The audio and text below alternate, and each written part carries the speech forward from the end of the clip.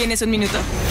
Espera, espera. Hay una sociedad de élite con toda la mejor gente, ¿Spider? Soy Spider-Man. Ay, no me digas. Aquí todos lo somos. ¿Qué?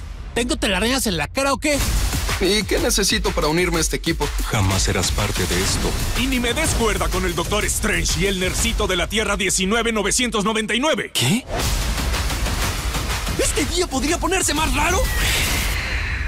Creo que sí.